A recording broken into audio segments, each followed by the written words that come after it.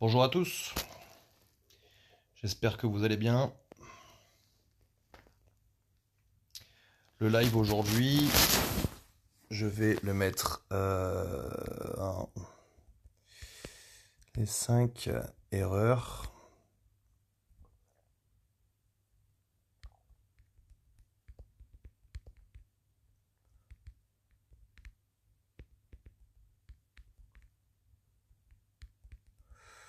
J'espère que votre semaine se passe bien. Je teste un nouveau truc, hein, je le fais, euh, je fais un live. euh, je, crois que j'ai jamais fait de live depuis, euh, depuis que je fais des lives sur, sur l'Insta de Athletic. Donc voilà, petit test aujourd'hui. Comme vous voyez, je suis dans mon lit. Voilà, je suis chez mes beaux-parents, en Gironde. Et euh, entre le bébé, euh, les télés, etc., je suis dans mon lit. Donc euh, voilà, le, mec, le mec ne, voilà. Il y en a, ils ont des beaux cadres, ils font des trucs. Moi, je vous les fais toujours de mon canapé ou depuis mon lit. Je- je- j'essaie de me concentrer plutôt sur le fond que sur la forme. J'espère que ce ne sera pas mal interprété. Voilà. Donc aujourd'hui, je vais aborder avec vous euh, 5 grosses bêtises que font, euh, que font les coachs sportifs. Alors, j'ai demandé à des gens que j'apprécie autour de moi, euh, qui sont dans le métier évidemment, de, euh,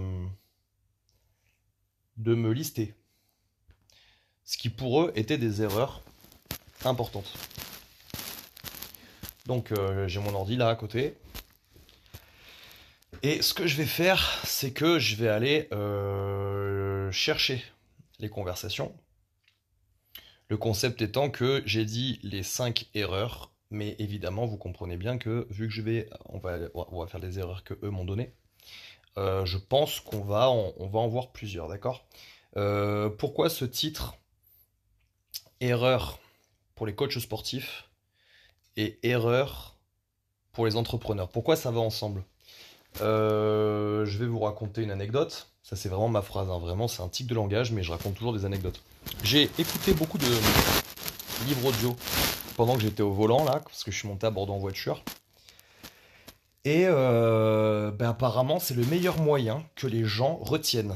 Donc en fait, je fais un truc bien, le fait que je vous parle toujours euh, d'anecdotes, eh ben, en fait, c'est un méga moyen pour vous retenir. C'est peut-être une des raisons du succès du coaching que j'apporte, c'est que c'est un coaching euh, à base d'anecdotes. hein. Donc, euh, donc écoutez, on, on va pas changer des, choses, euh, des choses qui fonctionnent, on va parler d'anecdotes.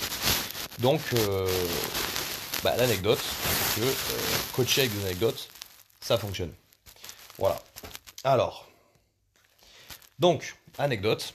Revenons-en à ce que je disais. Je vous ai dit, j'ai fait une formation de garde du corps euh, internationale euh, en mai chez Groupe 9.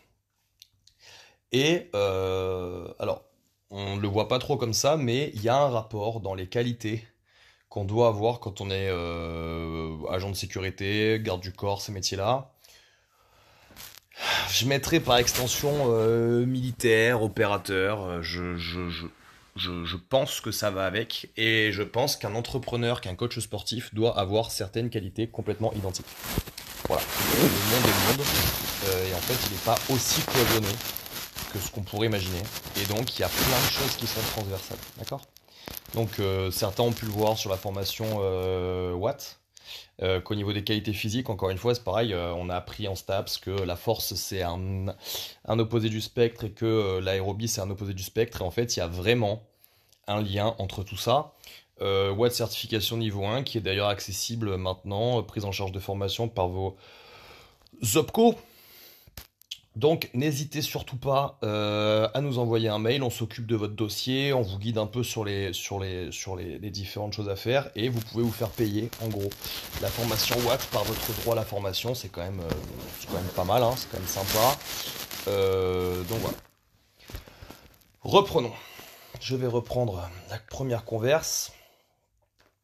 Bon, c'est anonyme, hein, je vais pas dire qui m'a dit quoi, mais euh, je vais, euh, je vais chercher la conversation.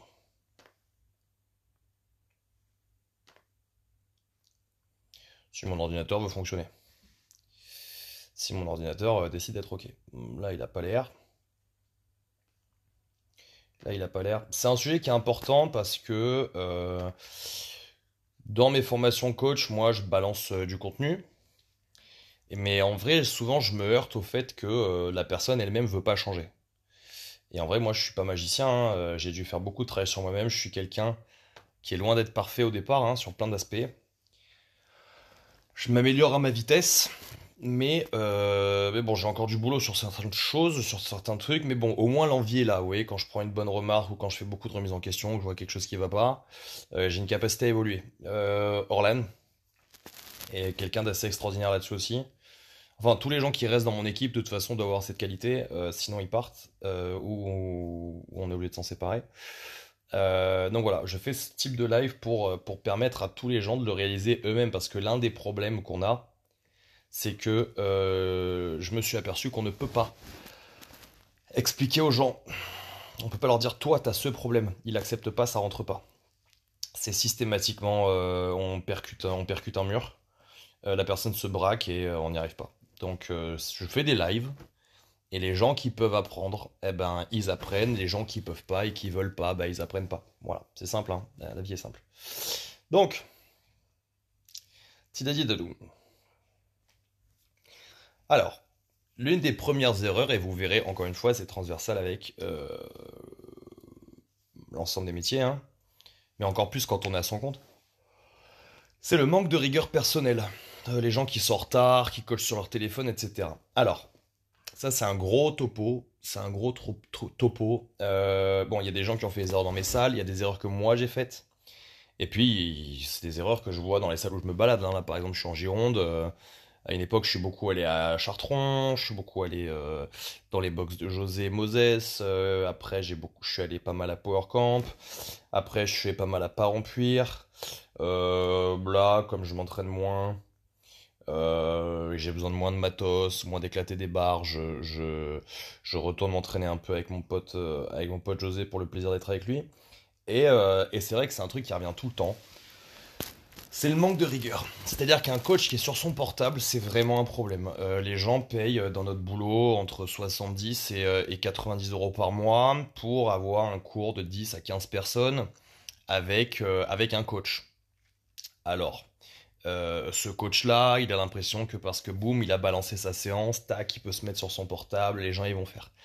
Non, ça ça marche pas, ça marche pas, ça marche pas pourquoi? Ben ça marche pas parce que les gens ils veulent de l'attention. Voilà. Euh, et, j'ai moi-même coaché sur mon téléphone à une époque. Euh, j'ai moi-même coaché sur mon téléphone à une époque. Euh, hier, les palmiers, par exemple, le box de hier est en train de faire un peu de mal à une box à côté, ou à des box à côté, simplement parce que là-bas, bah, les gens ils coachent sur leur portable. Voilà. au départ, ils savent pas qu'on est meilleur, ils savent pas qu'on coach bien, et ils savent pas qu'on a une, une avance technique. mais puis sur la vision du truc qui est, qui est bien plus élevée, non, non, non, ils se barrent juste parce que dans leur salle, les gens sont sur leur portable. Euh, donc ça fait des dégâts quand même.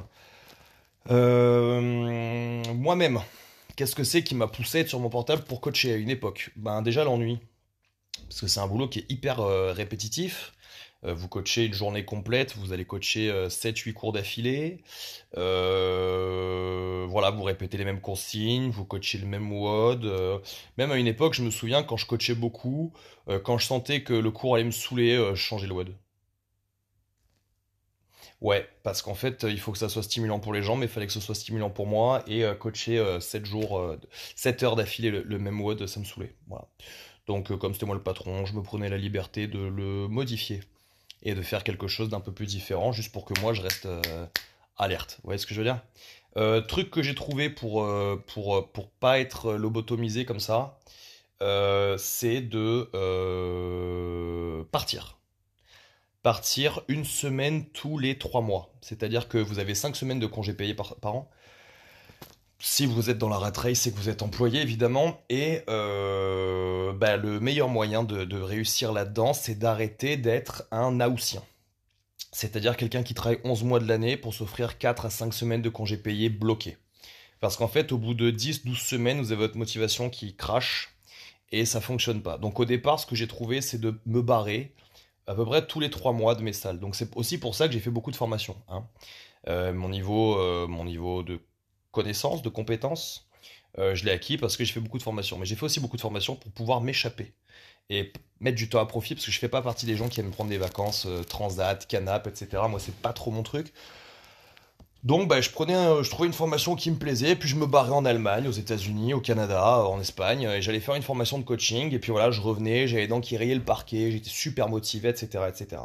Un autre truc, donc au-delà du téléphone portable, hein, qui est un ennemi euh, juré du, coach, c'est le retard. Euh, c'est le retard. Alors moi, je suis vraiment mal placé pour vous dire qu'il faut pas être en retard vu que j'ai été champion d'Europe de retard.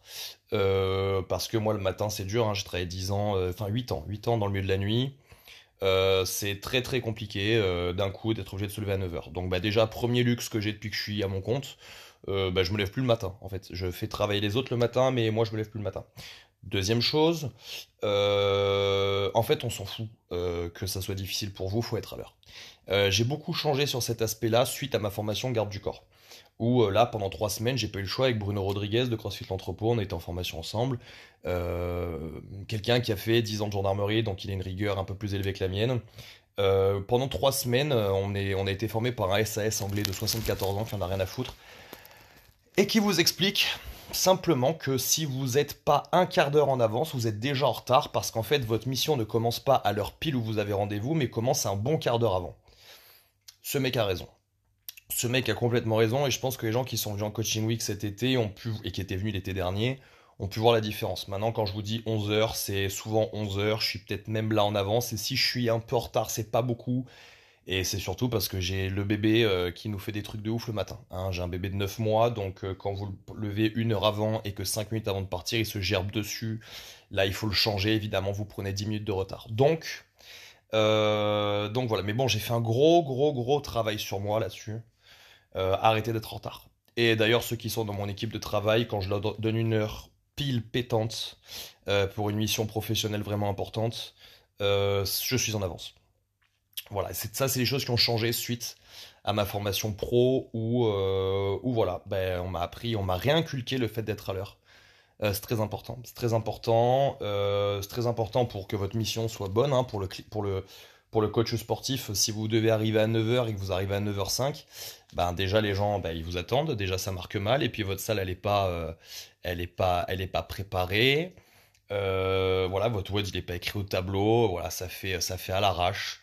Et c'est de la merde. Voilà, c'est de la merde. Pour peu que vous soyez en retard et sur votre portable, alors là, c'est le méga banco. Hein. Ça, c'est vraiment le combo ultime de ouais, bah ouais, bah je suis dans ma life et puis euh, et puis vous, vous, vous, êtes euh, tributaire de moi, mais bon, moi je suis le coach, je suis la rockstar, donc bah, tant pis pour vous. Voilà, ça, ça c'est un mauvais problème. Donc la rigueur. je pourrais ajouter, bon moi je l'ai pas vécu chez moi, hein, j'ai que des j'ai que des coachs beaux gosses qui font très attention à eux, mais euh, voilà, euh, l'hygiène corporelle, ça va avec le manque de rigueur, hein, les mecs trop chevelus, les mecs qui coachent plein de transpiration qui sortent de leur WOD, euh, gros manque de rigueur aussi. Hein, euh, euh, en fait, il faut que vous compreniez un truc, c'est que vos, vos clients s'en battent les couilles complètement. de votre niveau d'entraînement et de voir vos pectoraux. En fait, ils s'en tapent. nous, hier, on passe les trois quarts de l'année torse nu parce qu'il fait 40 degrés dans la salle et parce qu'en fait, on est écologiste. C'est-à-dire que quand moins on lave les t-shirts, moins on lave, moins on utilise d'eau et moins on utilise d'électricité. Vous voyez, donc on, est, on a un, un côté topless écolo. Vous voyez euh, mais, euh, mais parce qu'on est bien dans notre peau et que euh, bah voilà, nous, ça nous choque pas quand une meuf se met en short, en brassière. Je sais que ça pose un peu plus de problèmes ailleurs. Mais bon, ce qu'il faut vraiment éviter par contre, c'est de sortir de son entraînement complètement transpirant et hop, tac, j'envoie mon WOD avec le cours. Ça, c'est très gros manque de, très gros manque de professionnalisme. Erreur que j'ai faite aussi, il hein, n'y a pas de souci, les mecs, hein, pour ceux qui découvrent, hein, puisque mon, mon, Insta est en privé, euh, pour ceux qui découvrent le live, euh, dites-vous bien un truc, c'est que, encore une fois, je ne suis pas le Messie, et toutes les erreurs que je vais vous citer, je les ai faites. Voilà, voilà, voilà. Euh, deuxième erreur. considérer que le client est roi et tout tolérer. Alors, je suis tout à fait d'accord avec ça. je suis tout à fait d'accord avec ça. En fait, ça nous amène à une nouvelle notion qu'on va appeler la notion de culture. C'est-à-dire qu'en fait, euh, les gens viennent dans votre salle pour faire du crossfit parce que vous êtes affilié, pour faire autre chose parce que vous faites autre chose, ou viennent dans votre business euh, pour le produit que vous avez à vendre, hein, ou le service que vous avez à leur proposer. Mais il faut comprendre quelque chose, c'est que euh, dans tous les cas, quand ils viennent, ils viennent vous... ils intègrent une culture chez vous, c'est-à-dire qu'ils intègrent une idée, une idéologie de comment ça se fait. Idem pour les styles vestimentaires, hein, chaque marque, chaque parfum euh, essaie de- de- d'imposer une culture autour de son nom, de sa manière de faire, etc., etc. Et donc, les gens qui viennent euh, dans votre salle, en fait, intrinsèquement, ils adhèrent un peu à une forme de culture. Et le problème, c'est que quand ils commencent à croire qu'ils peuvent tout se permettre parce qu'ils sont clients, ça c'est un problème. Et derrière, on se retrouve dans la même logique qu'un Basic Fit, où euh, ben, je paye 19 euros par mois pour ne pas être accompagné, je fais absolument ce que je veux. C'est-à-dire que on a souvent des vidéos euh, qu'on voit hein, pour, se moquer des gens qui font n'importe quoi dans les Basic Fit. Euh, l'aspect coaching, il y a quand même un aspect de rigueur. J'avais fait un post où je m'étais fait complètement allumer par des gens, le post s'intitulait Coacher, c'est savoir imposer. Oui, alors je me suis pris euh, la gauche progressiste, euh, Montessori, euh, non, on ne doit pas imposer aux gens. J'avais même une meuf qui m'a dit oui, alors moi j'ai atteint le haut niveau dans mon sport et mon coach ne m'a jamais rien imposé. Alors, j'ai un scoop pour toi, on s'en bat les couilles en fait de comment toi tu fonctionnes. Moi évidemment, mes coachs n'ont jamais rien eu à m'imposer, hein, bien évidemment, je suis un bourreau de travail. Toute discipline dans laquelle je m'intègre, j'essaie d'y aller vraiment à fond de manière sérieuse. Donc oui, si t'es pas un branleur, normalement ton coach n'a pas besoin de t'imposer ça. Mais est-ce que tu crois que ton cas personnel est le cas euh, de tout le monde? Parce que sinon, euh, en fait, il faut juste que tu fasses un petit reminder quand tu étais à l'école et tu vas t'apercevoir que dans tes cours, en fait, il y avait les trois quarts, ils en avaient rien à branler, en fait. D'accord? Euh, il suffit que tu ailles un peu à Auchan, regarder ce que c'est la population française, en fait, euh, et t'apercevoir que 9 dixièmes des gens n'ont rien à foutre de ce que tu leur racontes, on n'en a déjà rien à foutre de leur santé, on n'en a rien à foutre de rien, en fait.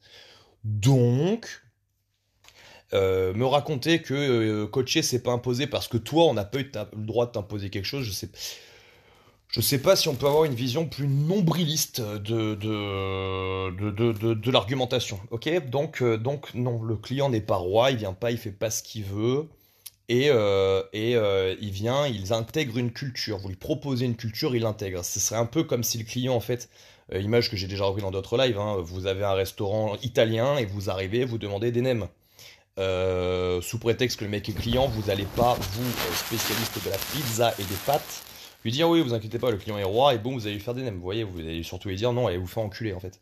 Enfin, non, non, faut pas dire ça. Les quatre accords Toltec, que ta parole soit impeccable. Vous direz excusez-moi, je pense que tu t'es trompé euh, d'endroit, mais je t'invite à aller chercher euh, ce que tu cherches dans un endroit qui euh, te l'offrira. Voilà. Donc, non, le client n'est pas roi. puis, au passage, alors je vais vous raconter un truc qui est vraiment intéressant pour moi. j'ai fait un petit point de la, société actuelle. Et en fait, on peut se rendre compte d'une chose, c'est que l'école n'inculque plus rien.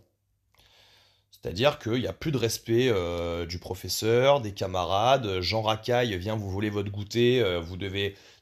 L'école est en fait une farce euh, pour apprendre aux enfants euh, comment fonctionne la vie d'adulte. Donc, pour que l'adulte euh, ferme bien sa grande gueule quand Jean Racaille il aura euh, niqué euh, sa vie, euh, son business, ou, euh, ou qu'il aura agressé dans la rue. hein. D'ailleurs, pour ceux qui l'auraient pas vu, une députée aujourd'hui s'est faite dépouiller dans la rue avec son mec à Paris. Putain, ça me régale. Euh, coup de réalité, ah, pleine face, je, suis prêt à serrer la main au mec qui l'a dépouillé. Non pas pour l'acte qu'il a fait parce que c'est mal, mais pour euh, l'aspect éducatif euh, qui- qui- qu'il aura apporté à cette connasse de députée. Bref, je disais, connasse n'étant pas un terme sexiste, connasse étant juste le féminin du terme connard que j'emploierai tout à l'heure, je sais pas, je le placerai juste pour qu'on ait une équité. hein. je voudrais pas me prendre les progressistes sur, sur le dos. Donc, j'étais en train de vous expliquer que l'école n'inculque plus rien. hein. Il faut bien vous soumettre. Euh, quand c'est vos camarades de classe qui vous soumettent, vous ne pouvez rien faire. Donc, euh, il va falloir aller demander à la maîtresse de voir si Jean Racaille, une fois qu'il a bouffé votre goûter, peut venir quand même s'excuser. Voilà, euh, mais ne prendra pas de sanction parce que tu comprends, Jean Racaille, chez lui, il a pas de goûter, donc euh, c'est complètement normal qu'il vienne te niquer le tien. Euh, bref, donc l'école n'inculque plus rien. Les parents sont quand même assez dépassés des gremlins qui, qui ont surgi euh, dernièrement de, certains ventres. Euh, bon, l'État fait rien. Donc, je me dis que le dernier endroit où on peut expliquer... Ah oui, l'armée. L'armée, ben non, il n'y a plus d'armée. Hein, il a plus d'armée. vu que la plupart des gens maintenant se barrent de l'armée, vu qu'en en fait, ils étaient venus pour un idéal et qu'ils le retrouvent pas. Il n'y a plus de service militaire. Voilà, hein, voilà vous faites des préparations militaires, mais il faut faire que ce que vous avez envie de faire, il hein, ne faut, pas brusquer euh, l'humain. Donc, je reprends, je crois que la salle de sport, je crois que les clubs sportifs, tous sports confondus, sont le dernier endroit où on peut un peu expliquer comment la vraie vie fonctionne euh, aux gens. C'est-à-dire euh, la rigueur, le travail qui donne un vrai salaire, qui donne de vrais résultats, euh, la confiance, l'entraide, le partage, le respect des différences, etc., etc., et la sanction euh, quand, quand on fait pas bien les choses. Donc c'est vrai que si, euh, je pense que les salles de sport ou les clubs sportifs sont le dernier endroit où on peut inculquer ces valeurs aux gens, et, clairement, ben, vous ne le ferez pas si vous considérez que le client est roi et qu'on peut tout tolérer. Donc voilà, très bon, très bon truc. En C, la personne m'a mis ne pas préparer ses programmations et par conséquent ce qui induit un manque de stratégie pour contrôler son cours. Alors, on en revient à la préparation de séance. Je suis d'accord, mais je ne suis pas tout à fait d'accord et je vais vous expliquer pourquoi. Parce qu'en fait, ça dépend de chacun. Euh, je vais vous donner un exemple. Euh, dernièrement, euh, bah, j'ai dû recoacher les cours normaux de ma salle parce qu'Orlan avait pris des vacances. Et euh, bah, je me suis remis à coacher. Et euh, bah, j'ai recoaché les gens, hein. j'ai fait des webs très très simples parce que pas envie de me casser la tête en toute honnêteté. Par contre, j'étais très pointu sur le coaching. Et euh, bah, les retours que j'ai, hein, s'il y en a qui sont en train de regarder, vous pouvez me confirmer sur le web du jour. Je pense que les gens ont vu la différence de style de moi avec les autres coachs. Et je pense que les gens n'ont pas été moins coachés alors que j'avais pas spécialement préparé ma séance. Pourquoi? Parce que j'ai une capacité qui fait que j'ai tout dans ma tête. En fait, je prends jamais de notes. Euh, si, le seul truc que je note, c'est mes rendez-vous. Parce qu'évidemment, je suis capable de prendre euh, des trucs complètement opposés le même jour parce que je les ai pas notés. Donc, ça marche pas. Euh, mais sinon, en termes de contenu sur mon boulot, j'ai tout en tête. Donc, donc je fais pas de notes et en plus, je suis un showman. Donc, bah, moi, j'arrive. je réfléchis trois secondes. J'écris au tableau. Et en fait, on a fait ça pendant longtemps la boxe. On a fait ça pendant longtemps et ça a très bien marché.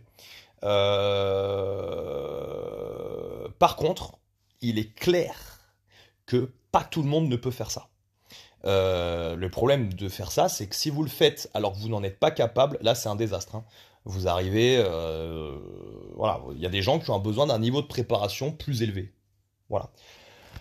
Ça fait pas d'eux des mauvaises personnes, mais euh, clairement, c'est vrai que si vous bossez pas la préparation de vos séances, alors vous êtes quelqu'un qui en a besoin, ça c'est un vrai problème, d'accord? Moi je le vois d'ailleurs dans, les différentes personnes avec qui je bosse. Euh, il y en a qui sont très euh, cérébrales, il faut tout noter, il faut revenir, il faut aller chercher, etc. Et il y a des gens qui sont en mode show must go on perpétuel. on n'a jamais de problème ni avec l'un ni avec l'autre. On a toujours des problèmes avec des gens qui pensent être dans le show must go on perpétuel alors qu'en fait ils sont pas de là. Ça, par contre, ça pose un problème. Euh, D. Ne pas prendre de temps pour sa propre formation et relever le niveau. Ça, c'est très important. Surtout dans le, dans le métier d'éducateur sportif où, euh, en fait, on a un BP qui dure un an, qui sanctionne une compétence qui est une blague. Enfin, c'est une blague. C'est une blague. Surtout depuis l'avènement de l'haltérophilie au sein du BP, hein, parce que moi, alors je vous raconte, en 2012, je passe le BP, hop là, en 2012, je passe le BP, et euh, j'explique aux gens avec qui je suis en BP que, euh, ben, moi, mon but, c'est une salle de crossfit en gare, nanani, nanana. 2012, 2011-2012, euh, le centre de formation de Chine, elle m'explique que c'est n'importe quoi, que ça n'existe pas, ça marchera jamais. Je me prends la tête avec le mec qui enseigne le développement de la force parce que je savais qu'il disait n'importe quoi, blablabla. Bla, bla. Bon, rappel, hein, aujourd'hui il y a le crossfit en STAPS, hein, on apprend les méthodologies crossfit en STAPS, on apprend la programmation euh, différemment depuis que le crossfit a explosé euh, la fourmilière. Euh, évidemment, maintenant on a mis de l'altéro dans le BP. Hein. Bref, avec une particularité quand même exceptionnelle au BP, c'est que le matin tu fais fitness, donc on t'explique que tu ne peux pas euh, tu ne dois pas casser la parallèle au squat et tu ne dois pas tendre les bras au bench, mais l'après-midi, on te fait faire euh. Et là, il faut tendre les bras en un seul temps hein, pour faire et casser la parallèle pour faire un squat snatch. Ou tendre les bras pour faire un jerk. Schizophrénie. Ça s'appelle de la schizophrénie. euh, au sens euh, formatif du terme, hein, en l'occurrence. Donc voilà, si vous faites une formation de qualité, hein, certification niveau 1, le meilleur de mes dix dernières années de formation, prise en charge par votre organisme de, prise en charge de formation. Je, dis ça comme ça. Mais bon, bref, le BP au bout d'un an, c'est n'importe quoi. Et là, je vois encore trop de gens qui passent un an et, et qui, pam, se mettent à leur compte. Euh, et je pense que vous faites n'importe quoi. Je pense, enfin, je vais être honnête, hein, je l'ai pas dit aux dernières personnes que j'ai eu en stage, mais je pense que vous arrivez, euh, vous êtes, euh, vous êtes, vous faites n'importe quoi. C'est-à-dire que moi, par exemple, demain, je fais un CAP carrosserie de un an et bam, j'ouvre ma carrosserie. c'est n'importe quoi. C'est n'importe quoi. c'est n'importe quoi. Je, je pense que vous n'êtes pas capable de vous mettre à votre compte après seulement avoir passé un BP. Je, pense que c'est dangereux pour vos clients. Alors, il y a toujours l'argument du mec qui va me dire oui, mais bon, quand même en France, on a un an de formation, à l'étranger, tu peux faire deux jours de level 1 et te balancer. Eh ben, l'anecdote, c'est que j'ai jamais considéré que les coachs français, surtout de ceux que j'ai rencontrés, les coachs français ne sont pas plus compétents que les coachs étrangers qui n'ont que deux jours de formation. Coïncidence? Je ne crois pas. Je ne crois pas parce que le fait d'avoir fait que deux jours de formation ne vous fait pas du tout croire que vous êtes compétent. Donc ces mecs-là, en fait, à l'étranger, sont beaucoup plus compétents parce que, en fait, ils sont réalistes avec eux-mêmes et ils font beaucoup de formations privées qui ont une bien meilleure euh, qualité que euh, la formation publique. D'ailleurs, je vous invite à voir un podcast euh, d'Upside Strength sur le sujet où en fait il explique que le futur de la formation ne sera pas étatique mais dans le privé parce qu'en fait quand on fait des recherches sur les programmes, on s'aperçoit que les meilleures recherches coûtent de l'argent, donc évidemment ben, les formations se, se monnaient, et que le, et que, mais c'est aussi beaucoup plus qualitatif et beaucoup plus mis à jour, et que c'est pour ça que le modèle éducatif, qui d'ailleurs met toujours 70 ans à changer un programme, hein, parce que pour changer un programme d'un diplôme, il faut que ça monte au ministère, en l'occurrence du diplôme, qu'il accepte de changer le programme. Bon bref, c'est absolument n'importe quoi, sachant au passage que ces gens qui sont dans ces ministères sont complètement déconnectés de la réalité du terrain, et alors encore plus de la recherche. Donc le futur de la formation ne se fera pas du tout dans, euh, le, public. Hein. Donc, euh, donc clairement, euh, ne pas prendre de temps pour sa propre formation et relever le niveau. On est en plein dedans. voilà, vous sortez du BP et boum. Jean-Michel Coaching, voilà, viens en MP pour que je te fasse une programmation. ouais, web extérieur, cours privé, je comprends qu'après un an de PLS euh, sans avoir travaillé, vous êtes fait exploiter en stage 35 heures par semaine comme des grosses merdes, vous avez besoin de remplir votre frigo. Franchement, je le comprends, mais je pense que vous faites une bêtise quand même. Parce que ben, ben vous n'êtes pas au niveau. C'est mon avis, ça n'engage que moi, d'accord? Mais au pire, si vous vous lancez, que vous continuez à vous former, c'est une bonne chose. Hein mais si vous vous lancez euh, beaucoup trop, passe un BP, passe un level 1 et monte leur box. Euh, résultat des courses, vous coulez. Voilà, c'est pas plus compliqué que ça. Euh, voilà, je. Ensuite, manque de gestion des espaces. Euh, ça, je ne sais pas de quoi il parle, donc je ne vais pas en parler.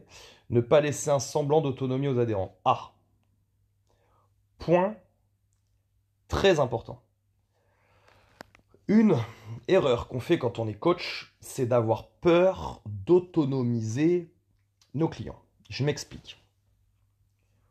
Vous croyez que peut-être parce que vous allez euh, avoir euh, le savoir euh, et que vous allez le donner au client, le client va finir par se barrer.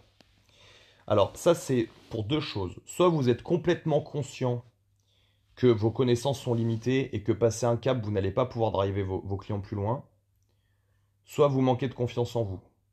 Mais une chose qu'on apprend dans la formation OPEX qui est extrêmement intéressant, c'est que le but de tout coach doit être d'autonomiser ses clients. Pourquoi? Ben Simplement parce que le coach, euh, le client, c'est son premier coach en fait. Euh, pourquoi c'est son premier coach? Ben Parce qu'en fait, c'est lui qui a décidé d'abord de se mettre au sport. C'est lui qui a décidé de venir dans votre salle. C'est lui qui décide le nombre de fois qu'il vient dans la salle. C'est lui qui décide le nombre de cours. C'est lui qui décide où est-ce qu'il a des lacunes et où est-ce qu'il a du plaisir et où est-ce qu'il veut travailler. Donc, si vous avez oublié que le premier coach du client, c'est lui-même, euh, vous n'avez pas compris ce qu'est un client. Euh, Ensuite, si vous êtes dans une optique professionnelle, une optique de remise en question, une optique de formation perpétuelle, vous n'avez pas peur que votre client puisse s'échauffer tout seul, vous n'avez pas peur que le client, euh, après que vous lui donnez quelques exercices de réhab parce qu'il a un petit peu mal à l'épaule, les fasse tout seul dans son coin. Pas du tout. Est-ce que c'est pour ça que derrière, il n'aura pas besoin d'être coaché? Ben moi, j'ai un scoop pour vous. Hein. Euh, quand je snatchais 90 kg, je demandais à mes coachs de me regarder comment je liftais. Je leur demandais quand je snatchais 100, quand je snatchais 110 et quand je snatchais 120. Vous voyez ce que je veux dire? Quand je back squattais 130, je demandais à Miguel de regarder ma technique. Et le jour où j'ai back squatté 200, j'ai demandé à Roland de regarder ma technique. Hein. Donc, euh, c'est pas du tout parce que l'élève progresse. Euh, c'est pas parce que l'élève progresse qu'il aura moins besoin de vous. Les gens qui ont cette vision-là, elle est complètement euh, has-been, euh, cette vision-là. Au contraire, un client qui, qui a, hum, une certaine autonomie euh, va prendre du plaisir beaucoup plus à s'entraîner parce qu'il va voir sa progression, il va voir l'augmentation de son niveau de connaissance et de toute façon, vous, serez, capable de toujours lui apporter parce que les choses évoluent et que vous vous remettez à jour.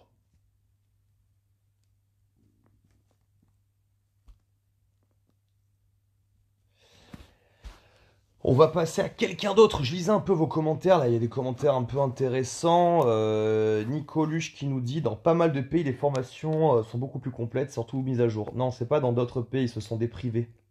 Ce sont des privés. La France est le seul pays à imposer un diplôme euh, pour pouvoir coacher contre rémunération parce qu'on a le code du sport. les formations dans les autres pays, en fait, elles appartiennent pas aux pays, elles appartiennent à des organismes privés. Donc, évidemment, quand un ostéopathe à la méga pointe ou quand un mec comme moi euh, qui a fait 10 ans de formation dans le monde entier en faisant venir les meilleurs coachs chez lui, dormir sur son canapé, euh, créer une formation privée, c'est forcé qu'il y a un bien meilleur niveau, je suis d'accord avec toi. Mais c'est pas que question que ça soit étranger, c'est surtout question que ça soit privé. Euh, qu'est-ce qu'il y a d'autre comme commentaire là? Si vous avez des questions, si vous avez des ajouts, n'hésitez pas à les mettre en com. Hein. On est là pour, pour échanger. Si d'ailleurs vous aussi vous avez des erreurs que vous voyez qu'il faudrait plus faire, euh, partagez-les en commentaire. Hein. On est là pour ça, on est là pour, euh, on est là pour échanger. Donc je change de personne qui m'a, euh, à qui j'ai demandé une petite liste. Bon alors lui c'est quelqu'un à qui je parle tous les jours, donc il va falloir attendre un peu que je remonte, que je remonte la discussion. Deux petites secondes.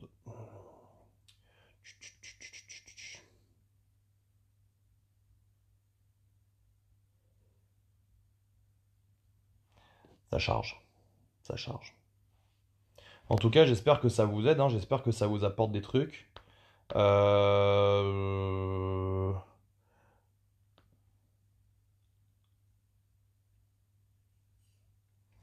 oui, Nico, tu as raison. En, France, tu ne peux pas enseigner si tu n'as pas le BP. Tout à fait, je suis tout à fait d'accord avec toi, bien sûr, bien sûr. Mais en fait, j'étais pas en train de critiquer les gens qui passent le BP. Hein.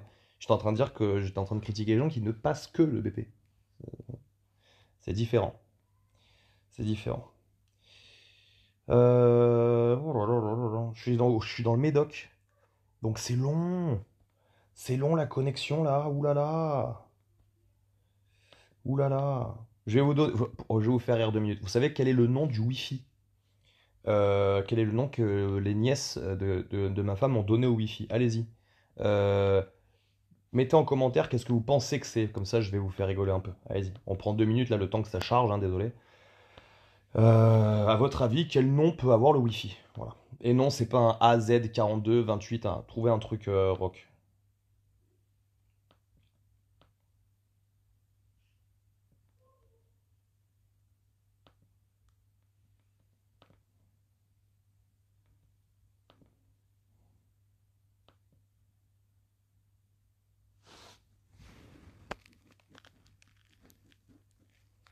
Ouais, c'est une bonne distinction que tu fais, Aurore Boréal.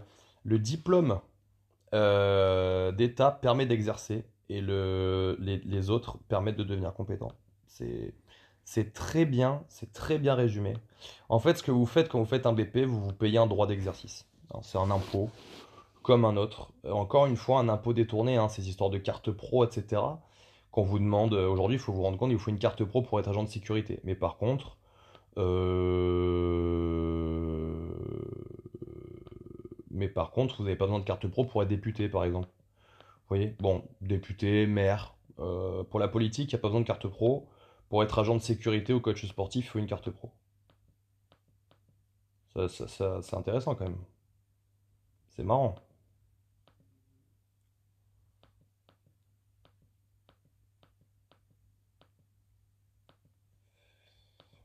Donc, vous avez des idées sur le Wi-Fi là? Ah, Andy Yaku qui me demande euh, qu'est-ce que je pense du DU de Cometti? Bonne question. Est-ce que je suis vraiment placé pour en parler, sachant que je l'ai pas fait? Voilà. Donc je vais pas te donner mon avis. Par contre, je vais te donner mon avis sur Cometti. Ça peut peut-être t'aider. Qu'est-ce que t'en penses? Cometti, c'est un mec qui a inventé le 10 x 10. Oui, le 10 x 10 à 70% de son max à faire avec 3 minutes de récup. Donc tu prends 70% de ton max, tu fais 10 reps, tu récupères 3 minutes et tu fais ça 10 fois. C'est impossible. Voilà. C'est impossible de faire ça. À moins que tu débutes le, le sport. Euh, que tu débutes le sport. euh, et donc que tu as un max, par exemple, au bench press à 22 kg. c'est-à-dire une barre à vide et deux collards. hein. Euh, tu peux pas faire 10 x 10 à 70% de ton max. Parce que pour donner un exemple, moi qui ai 130 en bench press, euh, 130, euh, 7 x 3, 21, voilà, ça fait donc 91 kg, 10 reps, x 10 avec 3 minutes de récup, c'est impossible. Voilà, c'est impossible. Donc, euh, je sais, je, résumer tout ce qui a créé Cometti à l'invention du 10 x 10, je, ce serait un peu réducteur. hein, je vais pas essayer, de pas tomber dans, les bêtises que font nos politiques. Mais euh, par contre, un DU euh, de Cometti, je, m'en fous, je ne sais pas. Je ne sais pas. De toute façon, moi, tout ce qui est formation universitaire française, je fuis. Encore une fois, l'université en France a, je ne sais pas combien de millions d'années de retard. Euh, surtout, voilà. Donc euh, là, je vois pareil, hein, je vois des Stapsiens qui essaient de faire des vidéos, qui essaient de faire des Instagram un peu à la mode. C'est super sympa, euh, mais je trouve que c'est nul. Voilà. Je trouve que ce contenu est nul. Je trouve qu'il fait pas avancer la cause et je trouve que c'est un moyen de réinventer la roue, mais en fait, il n'y a rien de nouveau. Donc voilà. Donc voilà mon avis. Voilà. Désolé. Alors, est-ce que j'ai des vainqueurs là sur le nom? Libéré, délivré, Freebox. Pas mal. Pas mal. Très très bon nom. Là, j'ai vu un Martin. euh, j'ai vu un. euh. Ah, Mika, on reviendra sur ton coaching type. Ouais, t'as totalement raison. T'as totalement raison. Ah, Martin Router King. Euh, ouais, ça pourrait être ça, ouais. Non, mais en fait, le Wi-Fi, en fait, il s'appelle, attention, tenez-vous bien, il y a du blanc, du rouge et du saucisson. Voilà. Bienvenue au Pure Médoc, euh, l'endroit où il y a du blanc, du rouge et du saucisson. Donc je t'imagine pas le voisin qui capte hein, le truc. Euh, il doit se dire, ah, non, je- il y a du blanc, du rouge. Putain, on m'a piraté mon ordinateur, qu'est-ce qui se passe, ce truc de fou. Euh, alors, le nouveau, la nouvelle personne à qui j'ai euh, demandé ces 5 erreurs de coaching m'a dit arrêtez de s'informer, de se former, enrichir son coaching. On l'a déjà abordé. Confondre animation et coaching. Boum. Ça, c'est très important. Euh, vous allez vous retrouver dans ce que je suis en train d'expliquer. hein. Euh, les gens qui coachent en disant Allez, allez, c'est bien, ouais, hmm, c'est bien, c'est bien, c'est bien. Non, mets-toi un peu plus comme ça. Ok, ouais, super. Alors que la personne n'a rien modifié. Euh, c'est toute la différence. Le fait de coacher, c'est le fait d'apporter une modification positive dans la manière de pratiquer de la personne. Le fait d'animer, c'est simplement de rendre le cours vivant. Est-ce que c'est forcément opposé? Non. Mais par contre, on peut très bien faire l'un sans l'autre. On peut avoir un coaching extrêmement chiant avec une voix extrêmement monotone qui motive pas du tout et donner un contenu très technique. Et on peut être un parfait animateur type euh, Zumba, type euh, cours collectif avec 103 personnes. Ouais, yeah, on met du gros son. On. Ouais, mais en fait, euh, j'ai un scoop pour vous. Euh, vous n'êtes pas un DJ, en fait. Euh, voilà, n'êtes pas un DJ. Et, euh, et vous êtes là pour apporter une correction effective à la personne et ne pas la lâcher. jusqu'à ce que la personne n'ait pas modifié son mouvement. Donc, euh, vous n'êtes pas, comme le dit Mika en commentaire, vous n'êtes pas une pom-pom girl. You're not a cheerleader. Et ça, c'est vraiment un problème. C'est vraiment un problème parce que je ne sais pas si c'est la peur de s'imposer du coach. Je ne sais pas si c'est la peur de, bah, de faire chier le client. Hein. Mais euh, une fois que vous lui avez expliqué que c'était pour lui et qu'il payait pour ça, il euh, n'y a aucun problème à ce que le mec euh, il décharge ou il prenne tout son temps pour corriger. Vous voyez ce que je veux dire? Et ça, c'est vraiment un problème. Les gens pensent qu'animer, c'est coacher. C'est deux choses complètement différentes. la team premier degré d'ailleurs qui a vu la vidéo sur le jerk, donc vidéo sur l'activation au jerk qu'on a fait, hein, vous aurez la suite de la vidéo sur le cours complet sur le jerk qui va arriver. Euh, donc elle a beaucoup plu, hein. je vous remercie d'avoir aimé cette vidéo. Si vous ne l'avez pas vue, elle est dans l'IGTV, vous pouvez la retrouver sur cette chaîne. Euh, j'ai une manière d'animer euh, particulière. Donc je donne du contenu très pointu, puis je vanne un peu, je rigole avec mes adhérents que je connais bien, etc. etc. La team premier degré est allé dire, est allé penser que si je leur parlais, si à eux ils avaient été coachés comme ça, ils se seraient barrés. Non, vous vous seriez pas barré, non. Non. Et si vous étiez comme, coaché comme ça, j'ai un scoop pour vous. Vous seriez bien meilleur que ce que vous êtes maintenant. Voilà. Euh, c'est comme ça. C'est la vie. Donc, euh, donc voilà, j'anime. Parce que j'ai une personnalité euh, étrange, bizarre et particulière. Donc j'ai une manière d'animer, mais, qui plaît. Hein. et d'ailleurs, les clients de ma salle se plaignent que je ne coach pas assez. Faut, faut se rendre compte quand même. Et à côté de ça, je donne un contenu extrêmement pointu. Il n'y a personne qui rentre dans mon cours, ne serait-ce que une heure à 35 personnes sur un cours d'altéro. Oui, parce que chez moi, les cours, spécifiques, je ne limite pas le nombre de personnes parce que j'ai l'expérience de coacher des stages. Et que donc, comme je coach peu, je me permets de prendre beaucoup de monde quand je coach en même temps. Il n'y a pas une personne qui participe à ces cours-là euh, qui ne peut pas dire qu'elle n'a pas été coachée, qu'elle n'a pas une progression euh, pendant ces cours. Euh, si certains sont en commentaire et ont participé, parce que toutes les coaching week qui passent dans mes stages, dans mes semaines d'entraînement euh, privé, font les cours spécifiques de la boxe, pourront, pourront en témoigner. ne pas cadrer sa séance en termes de discipline et d'attention. Donc encore une fois, ça reprend un petit peu ce qu'on a, dit avant, donc on va pas trop s'attarder. Trop se focaliser sur une personne ou un groupe de personnes niveau débutant ou autre, au risque de laisser de côté les autres. Ça, c'est une leçon que j'ai enseignée à ce cher monsieur au retour de mon level 2. Alors, le CrossFit level 2 est un diplôme intéressant, hein. j'invite tout le monde à, à le passer. Euh, il n'est pas intéressant sur certains aspects, il l'est sur d'autres.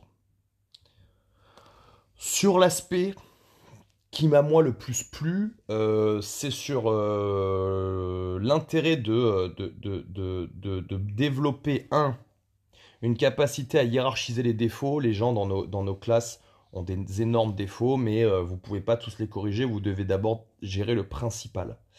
et la deuxième chose qui était très intéressante, c'était le fait de s'assurer qu'on ait regardé tout le monde dans le cours. Alors ils ont un tips, hein, ils vous disent qu'il faut donner trois consignes positives et trois consignes, trois corrections. On va pas parler de consignes négatives 2021. Ouh là là, qu'est-ce qui me prend là? Euh, Trois consignes positives et trois corrections à chaque client. Donc sans rentrer dans un papier, stylo et faire ça pour tout le monde, il est quand même très intéressant de s'assurer qu'à la fin du cours, on ait au moins donné des, corrections ou qu'on ait au moins donné des encouragements à chacun. D'accord? C'est très très très important. Euh, Mika nous dit euh, coaching gagnant, un tips minimum par personne. Un tips minimum par personne. Ouais, c'est possible, ouais, c'est possible.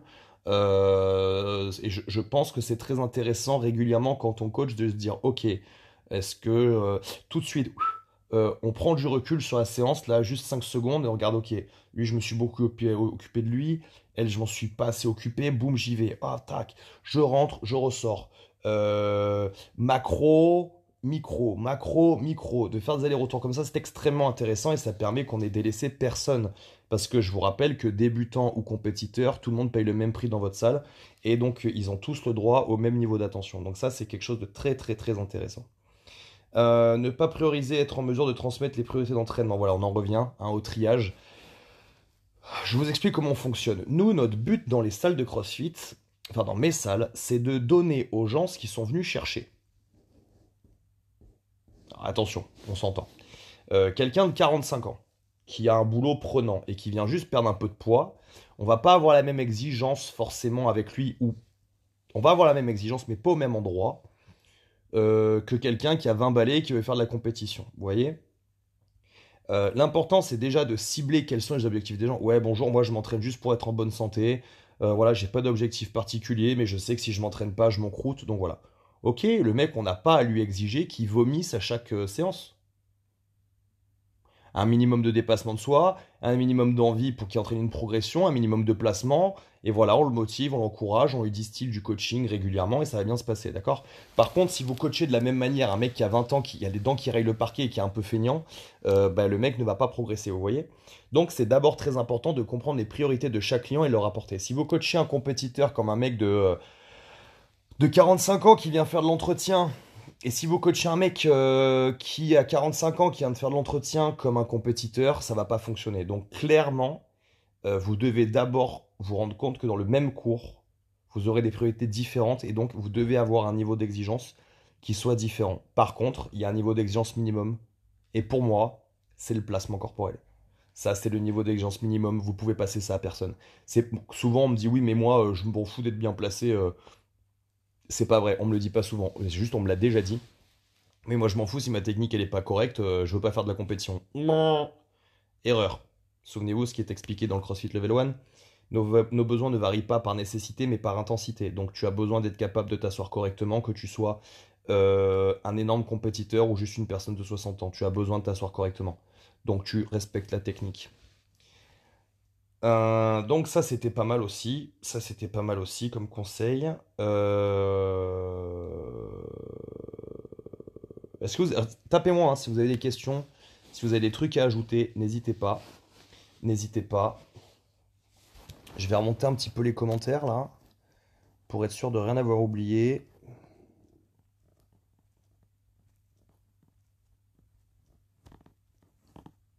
Oups décidément, j'ai du mal avec ce portable. Bon, les gars, pour l'instant, on est pas mal. Pour ceux qui ont vu les derniers lives, normalement, à un moment, mon téléphone me dit alerte, euh, je chauffe trop. Et en fait, il coupe le live. Donc, pour l'instant, on n'a pas d'alerte. Euh, on est pas mal. On est pas mal. Ok, c'est bon, j'ai rien loupé. Alors, maintenant, je vais vous donner deux erreurs qui me viennent là. Euh, la première, faut pas que je les oublie. La première, c'est de croire que, c'est que en tant que coach dans une salle, on se croit indispensable. Alors ça, c'est vraiment une grosse erreur. Déjà, premièrement, vous devez comprendre que euh, les gens sont venus, euh, sont venus à votre salle mais en fait, le client euh, fait ce qu'il veut avec son argent. Donc en fait, dès demain, il peut se barrer dans une autre salle. Vous, n'êtes pas nécessaire pour lui, vous n'êtes pas sa mère, euh, vous ne lui donnez pas à manger, euh, vous n'êtes pas un besoin vital pour lui. Donc, donc en fait, il peut se barrer à tout moment. Donc déjà, dans ce cadre-là, vous n'êtes pas indispensable. Ça, c'est la première chose. La deuxième chose, c'est qu'en tant que coach dans une salle, moi j'ai eu le cas, hein, ça m'est arrivé plusieurs fois, des employés. Des gens avec qui je travaillais, comme ils coachaient pas mal d'heures, ils s'entendaient bien avec les clients, ils se sont dit, ben moi, le jour où je me barre, en fait, fait, tout le monde me suit, quoi, tu vois. Et, euh, en fait, non. Euh, en fait, non. Euh, voilà. C'est jamais arrivé. Souvent, ils se sont barrés. Et, et en fait, ben, ben, ils se sont barrés, mais seuls, quoi. Voilà. Donc ça, c'est une grosse erreur parce que vous vous entendez bien avec les clients, parce que vous avez fait deux McDo avec eux. Vous croyez qu'ils vont se barrer le jour où vous allez vous barrer de la salle. Et là, en fait, c'est là que vous mettez un doigt dans l'œil à peu près jusqu'au coude. D'ailleurs, il y en a un, si sa meuf, elle était pas pétée de thunes, je pense qu'aujourd'hui, euh, il serait vraiment à la dèche, en fait, parce que c'est clairement pas avec le crossfit et le coaching qui fait de l'argent. Donc, euh, euh, clairement, vous n'êtes pas indispensable. En fait, le confinement, j'espère, j'espère que le confinement vous a fait réaliser que c'est vous qui avez besoin des clients, que c'est vous qui avez besoin de votre patron, et beaucoup moins l'inverse. C'est souvent on entend dire ouais de toute façon euh, dans cette salle je fais tout euh, euh, le jour où je suis plus là bah, le jour où tu es plus là il y a quelqu'un qui va prendre ta place en fait. Et toi tu crois que l'herbe elle est plus verte ailleurs et tu vas vite te prendre un coup de réalité en pleine tête en fait. Et ça va te faire des dégâts. Ça va te faire des gros dégâts.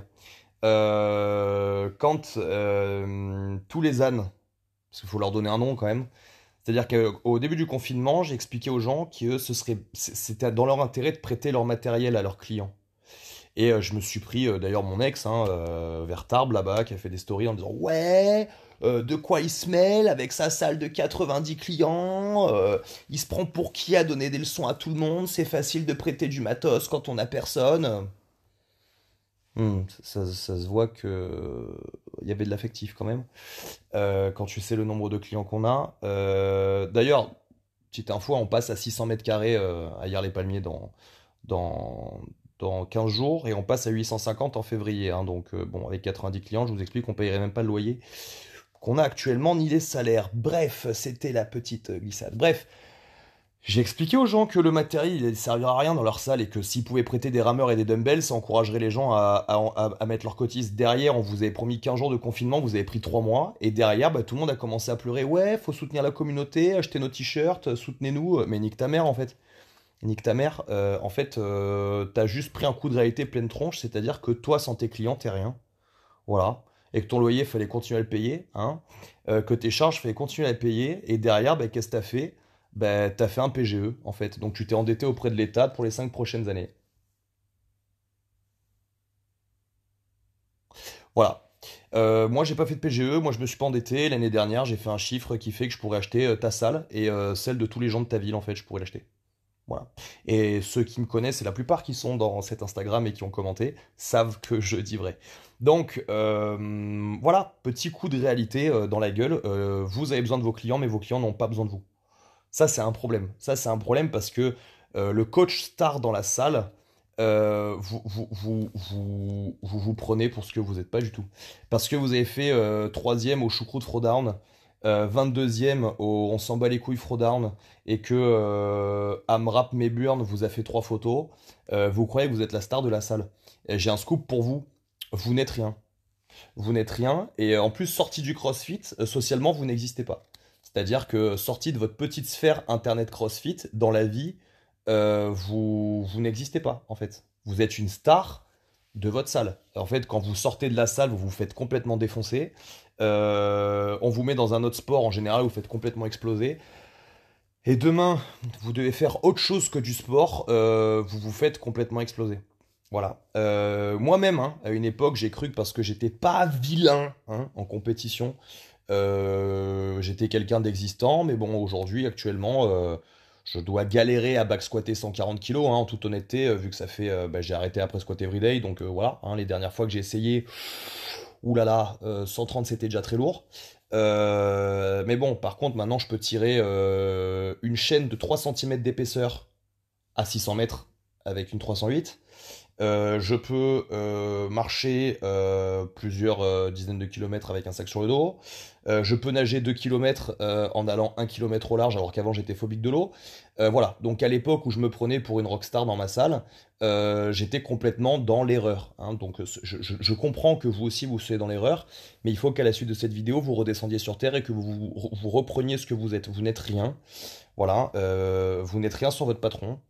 Euh, vous n'êtes rien sans vos clients. Voilà. Euh, et, même si certains vont un peu vous sucer la bite euh, le jour où vous allez snatcher 100 kilos, parce que, bah, parce que pour vous et votre microcosme, c'est un exploit, dans votre vie, ça n'est rien. En fait, ça ne fait pas de vous une meilleure personne et ça, ça ne vous rend pas indispensable. Hein. C'est très très important de comprendre ça, parce que voilà, hein, au confinement, quand vous, vous, avez cru que vous pourriez ne pas être présent pour vos clients et que derrière vous vous affichiez en train de faire de la bike chez vous, alors que tout votre matos était en train de pourrir dans votre salle, euh, là vous vous êtes aperçu que vous avez besoin de vos clients. Là, là vous vous êtes bien bien aperçu, ce qui fait que derrière un deuxième confinement, là vous avez bien fermé votre gueule et vous avez bien prêté votre matériel. Mais par contre, ça vous a pas empêché de me chier dessus. Euh, au premier. D'ailleurs, il n'y a personne qui a fait un post. Hein. Il y a pas mal de gens qui ont fait un post pour dire ouais, de quoi il se mêle, déjà qui gère sa salle, ce pauvre connard, etc. Mais par contre, vous n'avez pas fait un post pour dire que vous avez fait exactement ce que j'ai dit de faire euh, six mois après. Hein non, mais vous le ferez pas. Vous, vous, l'accepterez pas. Hein, c'est trop dur de, se remettre en cause, je peux le comprendre. Puis alors surtout dire que Guillaume Guillaume avait raison, ça je pense que ça, ça va vraiment vous arracher une dent. Euh, et j'ai pas envie que vous vous arrachiez les dents, hein. je vous veux pas de mal. Il y en a quelques-uns, bon, si je pouvais les croiser sur un ring, ce serait une mise de gants propre, hein, ça irait vite, hein, ça irait vite, parce que je vous briserais. Mais bon, ce serait sportif, hein, mais sinon dans la vie de tous les jours, franchement, je vous veux pas de mal. Voilà. Moi, euh, le confinement a permis à ma salle de grossir, a permis à ma communauté sportive de grossir. J'en profite pour remercier tous mes clients hier. J'en profite pour remercier tous les clients de Fréjus que j'ai pas trop l'occasion de voir parce que euh, confinement, parce que euh, bébé oblige, je, suis moins présent. Mais voilà, le cœur y est et je remercie tous les gens qui me font confiance. Voilà. la deuxième erreur dont je voulais vous parler. Alors déjà on me pose une question là. Euh, on me pose une question sur l'open gym. Euh, comme l'a dit Mika tout à l'heure, l'open gym c'est interdit pour les débutants. Alors, c'est pas interdit. Ah, j'aime pas trop ce terme. On applique un truc à hier, et je pense qu'il faut à peu près la même chose à Fréjus, hein, j'en ai pas parlé avec Mika, mais euh, en fait on autorise l'open gym à tout le monde, mais par contre vous ne devez pratiquer que ce que vous maîtrisez. C'est-à-dire qu'un débutant qui a jamais fait de crossfit, quand il dit ouais mais est-ce que je pourrais venir en dehors un peu? Oui, oui, oui, faire du vélo, euh, faire de la course à pied, faire de la corde à sauter, faire des abdos, tu peux. Euh, maintenant, si c'est pour prendre une barre à vide euh, et snatcher n'importe comment, ça, ça sera impossible. Donc c'est ce que j'appelle de l'open gym dirigé. On n'est pas là pour vous faire un coaching perso, on est là pour être sûr que vous ne faites que ce que vous maîtrisez. Voilà. donc moi, j'autorise l'open gym dans ma salle, hein. on est ouvert toute la journée. En mais, euh, mais par contre, il y a personne qui arrive, par exemple, et qui a une gym de merde, et qui d'un coup prend un élastique pour faire des muscle-up. Il y en a un, il l'a fait la dernière fois, ils étaient 4 ou 5, je les ai regardés, j'ai dit, euh, ça c'est pas possible en fait. Euh, ça c'est pas possible. Alors la blague, c'est qu'on est sur la côte d'Azur et j'ai quand même beaucoup de gens qui viennent en open gym l'été parce qu'ils sont en vacances. et en fait, la règle ne change pas. C'est-à-dire que vous venez dans ma salle en open gym, euh, vous faites un truc ou vous faites n'importe quoi, on va venir vous dire arrête de faire n'importe quoi. Parce que vous êtes quand même dans notre culture, hein, vous n'êtes pas juste venu louer du matériel, vous venez chez nous. Donc euh, au pire, euh, tu fais le du jour. Au pire, tu veux faire l'open gym parce que tu as une prog. Sois au moins sûr d'avoir la technique qui va avec ta prog, quoi. Parce que des fois, j'en ai qui passent, voilà. Bon, ils connaissaient pas Guillaume ils ont vite compris qui c'était Guillaume. Bon, ça les empêche pas de revenir, hein. on s'entend bien après, parce que je leur explique euh, avant, je les massacrais complètement. Maintenant, je me suis aperçu que c'était une mauvaise chose.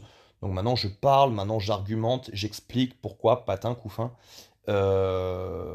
Euh, pourquoi patin couffin Expression qui n'a plus été utilisée depuis à peu près 1973. Euh, désolé, je ne sais pas ce qui m'a pris. bref, je, parle, je communique, je souris, je, donne des arguments et ça passe, ça passe tout le temps. le deuxième truc que je voulais vous dire, qui était pour moi une erreur primordiale. Ah oui les gens qui pensent que coacher, le métier de coach ou le métier d'entrepreneur hein, de base, euh, bah, c'est juste ce métier-là. Euh, je prends l'exemple du coach et d'ailleurs après je ferai un rapport avec d'autres trucs. Moi quand j'ai commencé le métier de coach sportif, j'ai fait une erreur. J'ai fait une première erreur, c'est de croire que euh, bah, être coach sportif, c'est l'aide de coacher les gens. Non. être coach sportif, c'est un, coacher les gens. Alors attention, je vais mettre des chiffres, mais il n'y a pas de hiérarchie. Hein. 1. Coacher les gens. 2. Euh, investir en soi. C'est obligatoire. Dans son entraînement, dans sa santé, dans son image euh, et dans son euh, knowledge, dans son savoir. Le troisième point, c'est qu'il vous faut d'autres compétences que le coaching. Infographie, comptabilité, hmm, communication, réseaux sociaux, euh, digital marketing, euh, community management. Il vous faut au moins des notions dans ces choses-là. Euh, et ça, la plupart des gens ne le veulent pas ou ne s'y intéressent pas. Je vais vous donner un exemple très simple. J'ai recruté Orlan.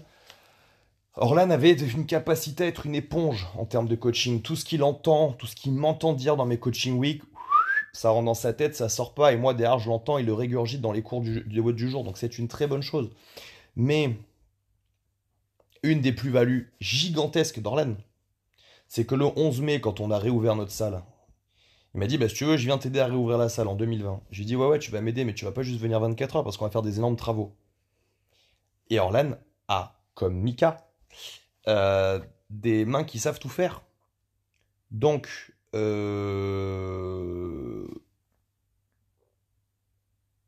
on leur demande de faire du placo. ils peuvent faire du placo. Tu leur demandes de faire du carrelage, ils peuvent faire du carrelage. Tu leur demandes de peindre des containers dehors, ils peuvent peindre des containers dehors. Euh, et tout ça, c'est quelque chose d'extrêmement important. Euh, participer à la vie d'une salle, c'est pas coacher. Moi, j'ai eu des coachs qui m'ont expliqué, enfin, j'ai connu des coachs qui m'ont dit qu'ils étaient pas payés à passer aspirateur. Euh, alors moi, quand un coach me dit non mais moi je suis pas payé à ça, bon déjà il me le dit pas en général, hein, j'ai vu ça dans d'autres salles. Et moi je vais vous expliquer un truc en fait, bande de trous du cul. Euh, moi, pendant mes trois premières années, hein, pour ceux qui le savent, euh, je me suis pas payé en fait dans mes salles de sport. D'ailleurs, il y a Ben Raff qui travaille avec moi à Chrono Drive. Donc Ben Raffaelli, euh, peut, peut, peut, euh, peut témoigner du fait qu'il a bossé à Chrono Drive euh, comme qui, qui m'a vu bosser comme un esclave alors qu'à côté j'avais trois salles en fait. Donc, donc j'en suis là aujourd'hui parce que j'ai passé aspirateur, j'ai nettoyé les chiottes et en plus j'ai travaillé sans me payer pendant, euh, pendant des années, en fait, au vrai sens annuel.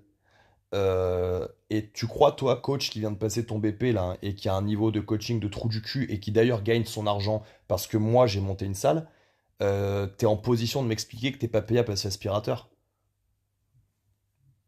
Redescends. Redescends ou, ou ouvre les yeux, en fait, sur la réalité du monde, en fait.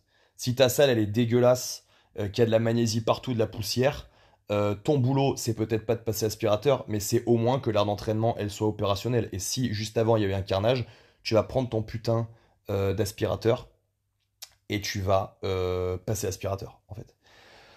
Participer à la vie d'une salle, c'est ça. Un mec comme Orlan ne m'a jamais dit, excuse-moi, mais moi, mon métier, c'est, pas plaquiste, quoi, donc je vais pas faire le placo. Le mec voulait son boulot, voulait du travail, voulait développer, euh, bah, voulait développer la salle. Donc, bah, il y a du placo à faire. Le mec, il ferme sa gueule, il fait du placo. Et en plus, il, le fait bien, et il le fait avec enthousiasme. Et derrière, il a son CDI, le mec.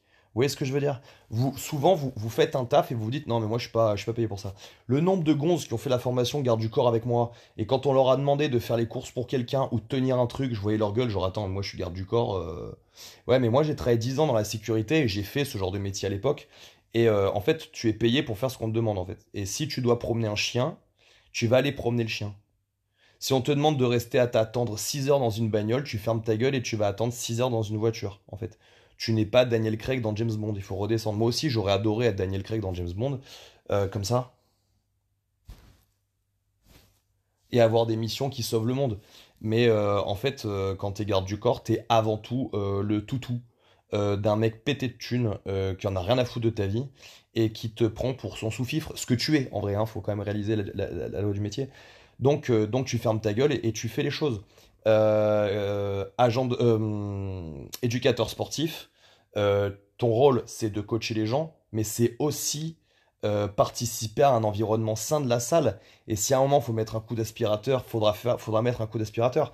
Euh, Moses et euh, José dans leur salle Elevate, qui ont donc monté une forme de franchise qui est en train de tout casser à Bordeaux sur la partie haut de gamme de l'enseignement du sport, euh, ont développé le concept de, euh, de, de coach vendeur élite. C'est-à-dire que leur concept, c'est que si vous êtes un coach élite, c'est que vous êtes un, une bête dans votre boulot en tant que coach, et deux, une bête pour vendre votre travail. Ça met un sacré coup de pied dans la fourmilière pour ceux qui disent, excuse-moi, non, moi je suis coach sportif, je suis pas commercial en fait. Euh, non, moi j'ai pas à faire des rendez-vous avec les clients, j'ai pas à vendre d'abonnement, c'est pas mon boulot quoi. Euh, donc leur concept est très simple. Euh, leur concept est très simple. Il est que ils ont des commerciales, mais chaque coach de la salle est aussi capable d'être commercial de la salle. Et, euh, et il faut dire que c'est une plus-value de fou. Euh, encore une fois, Orlan, euh, quand on lui a demandé de faire ça, quand on l'a formé à ça, il n'était pas forcément bouillant à l'idée de le faire. hein. Le mec sort du troisième RPIMA. bon, il a un cadre, il a une manière de penser, voilà, qu'est-ce qu'elle est. Euh, pas forcément amoureux de la population française comme moi d'ailleurs. hein. Mais ok, ok, c'est le job, je vais le faire, etc. Et aujourd'hui, il est excellent dans son boulot. Boulot qui a d'ailleurs participé à l'essor de notre salle. Donc, euh, donc voilà, euh, moi, pour moi, une des plus grosses erreurs euh, qui n'a pas été citée dans le lot, c'est que quand le coach sportif considère que son boulot, c'est coacher. Ah, je suis désolé de vous dire que votre boulot, ce n'est pas, pas du tout que ça. Il y aura un brin, même si vous n'êtes qu'à votre compte. hein. Moi, par exemple, dans ma salle, mon boulot c'est éducateur sportif, mais dans ma salle le dimanche soir, je lave les chiottes. Voilà, j'ai quelqu'un qui est censé le faire, et quand cette personne, elle peut pas euh, le faire, ben j'attends pas en fait que lundi ma salle elle soit dégueulasse. Donc euh, j'arrive à la salle, j'ai un bébé en- qui a moins d'un an, et pourtant le dimanche soir je débarque à la salle et c'est moi qui nettoie la salle. Voilà. Euh, responsabilité absolue. Voilà. Donc c'est quelque chose qui est pour moi très intéressant et, et, et qui fait que vous allez être vous allez être dans l'erreur quand vous, vous pensez vous pensez différemment de ça. Voilà. J'en ai terminé, je pense qu'on a survolé à peu près toutes les, euh, toutes les, toutes les données. hein. On va éviter, je vais essayer de plus faire des lives de 3h30. Euh, est-ce que vous avez des questions? C'est le moment où je vous pose la question. Est-ce que vous avez des questions sur les jeux qui ont été abordés? Euh, on peut partir sur tous les sens. hein. Moi, je fais pas de live spécialement dans un autre but que vous rencontrer, que d'échanger avec vous. Donc, au- autour de ce sujet, entrepreneuriat, coaching business, est-ce que vous auriez des questions à vous poser là? S'il y a des gens qui sont coachs, euh, s'il y a des gens qui démarrent dans un quelconque business, euh, là, j'ai pas être garde du corps. Bon, si ça intéresse certaines personnes, euh, vous pouvez aussi me poser des questions. Dites-moi, est-ce que vous avez des questions? Est-ce que c'est clair pour vous?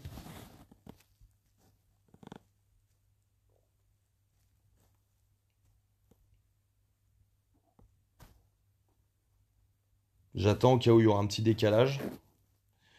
Parce que j'ai l'impression qu'il y a un décalage entre les coms, les likes et, la vidéo.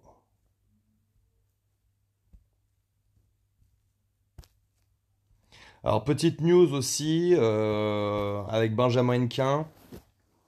Avec Benjamin Hennequin, on lance euh, dimanche soir nos nouvelles programmations euh, Altero. Donc, trois niveaux. Niveau débutant, euh, niveau intermédiaire, niveau confirmé. Niveau débutant, trois mois, on priorise euh, l'apprentissage de la trajectoire, le développement de votre mobilité, votre amplitude de mouvement et devenir plus fort.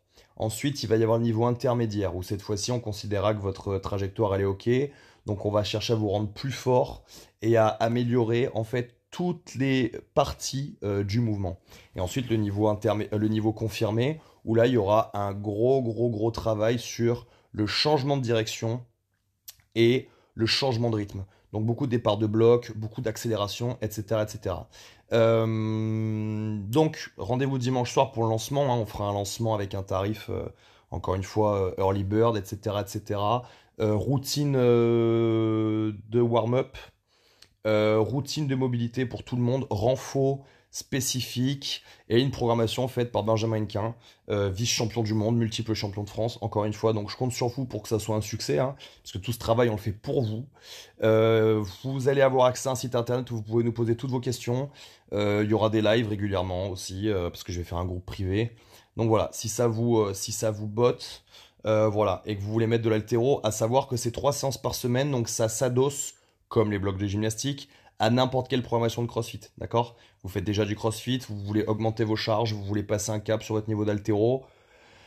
En programmation seule, savoir que les gens dans les, dans les clubs d'altéro s'entraînent pas plus de trois fois par semaine en général, et euh, à un niveau non professionnel bien évidemment. Euh, donc ça se suffit à soi-même si c'est juste pour accentuer l'altéro de votre programmation CrossFit.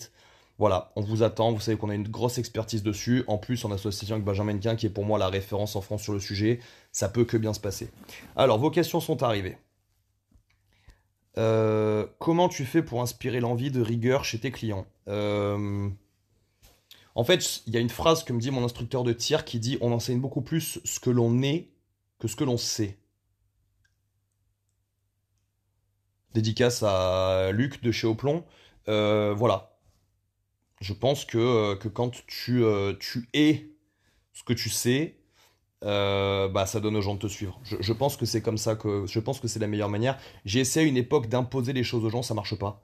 Je me suis fait beaucoup d'ennemis sur le sujet parce que les gens se braquent en fait. Quand tu expliques à quelqu'un qu'il a un problème incroyable et qu'il faut absolument qu'il le change, et que quand tu vois qu'il le change pas, tu lui rentres dedans.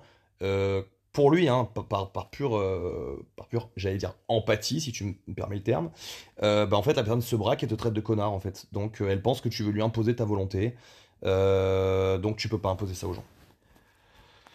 Aurore qui nous dit du coup, tu m'as surtout convaincu de ne pas m'installer de suite à mon compte lorsque j'aurai obtenu mon diplôme diététique. Me former d'abord pour de vrai, j'hésitais, mais plus maintenant. Alors, moi je te conseille un autre truc, Aurore, c'est de commencer à faire des diètes gratos aux gens. Dès maintenant. Euh, parce qu'en fait, ce qui va vous manquer, c'est surtout l'expérience, le fait de te louper. Donc, euh, commence à faire des diètes pour des gens là que tu connais. Hein engage-les, qu'ils le fassent de manière sérieuse, tu vois. Et comme ça, tu vas comprendre qu'est-ce qui marche, qu'est-ce qui marche pas, les contenus que tu sais que tu maîtrises parfaitement, ceux que tu maîtrises pas. Et dans ce cas-là, ensuite, si tu commences dès maintenant pendant ta formation, tu seras dans les capacités de le faire en sortant. The Black Panther, pas de question, mais ce que tu dis sur les débuts dans le métier de la Protec, c'est clairement ça. Ah non, mais clairement, les métiers de la Protec, c'est ça. Euh, c'est ça. Euh, à moins que vous soyez qu'un client super rock'n'roll qui vous invite à boire des coups quand lui il est en train d'en boire. Euh, vous, êtes, vous êtes un sous-fifre. Hein. Les mecs qui font Cannes pendant le festival, euh, c'est des 12 heures assis dans une bagnole. C'est de l'accompagnement où en fait le mec fait son shopping et en fait les sacs il te les fout sur la gueule et toi tu dois les porter. voilà, faut, faut arrêter d'idéaliser ce métier, surtout qu'il est de moins en moins bien payé. Bref, dans un, au passage, en France, hein, où tu n'es pas armé, et où dans tous les cas, si quelqu'un vient mettre une patate dans la tronche à ton client, toi, si tu mets une patate dans la tronche au mec, tu peux rien faire à part. En fait, je suis un, agent, de, un agent de protection rapproché en France. Euh, je suis très honnête, pour moi, c'est un non-sens. Euh, voilà, ça a pas de sens. Euh, mais bon, bref, c'est pas le sujet. Mais voilà, on s'est bien compris The Black Panther. Papy, responsabilité absolue, tu as lu le livre de Joko Wings. je l'ai lu, j'ai lu, j'ai vu certains podcasts aussi, mais voilà, ça, verbalise exactement ce que je te dis. Hein, sauf que comme c'est Joko Wings, c'est un américain, un ancien Tier 1, Navy Seals, Delta, euh, plus Omega, euh, c'est quelque chose qui, vous percute plus quand c'est Joko Willings qui le dit qu'un petit français.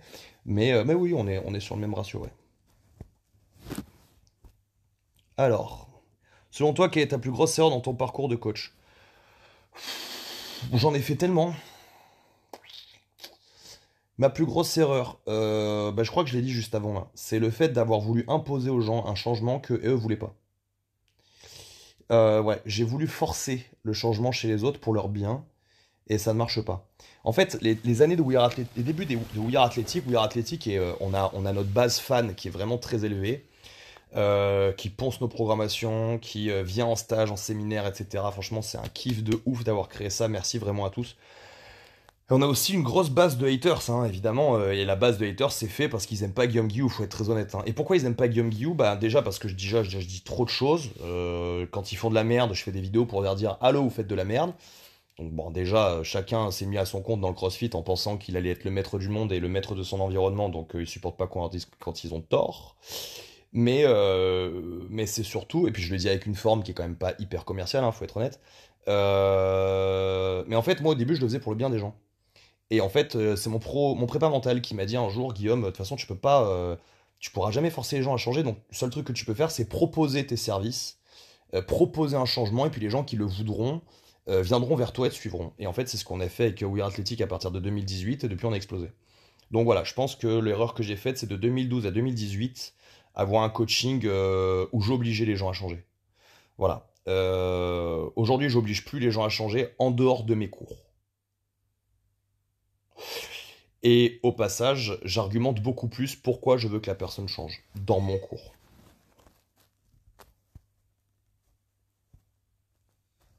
Ou se former pour le coaching des personnes handicapées infirmes? Il y a une formation qui s'appelle la formation coach santé muscu qui est faite par la Fédération française d'haltérophilie. Il faut être euh, affilié à la Fédération française d'haltérophilie, je crois, pour la faire.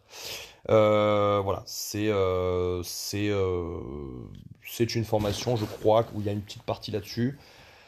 Il y a la formation universitaire APA, mais bon, faut avoir fait STAPS, donc voilà, c'est bullshit. voilà, ce genre de choses. J'ai vu passer un com là. RB euh, L28 qui me demande suis un ancien FS. Alors je suis même pas un ancien militaire pour te dire, t'imagines la blague? Euh, Ma famille, ils sont militaires de génération en génération depuis le plus haut que je suis remonté. Du côté de mon père, euh, moi mes 20 premières années de ma vie, j'avais pour but de rentrer dans l'armée.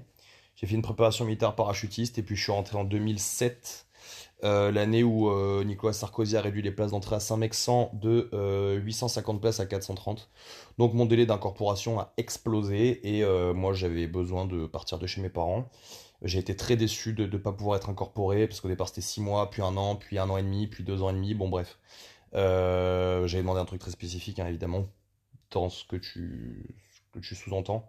Mais je voulais passer par l'école de sous-off. Et euh, voilà, je m'étais dit, j'ai fait un bac, j'ai pas envie de rentrer en engagé volontaire.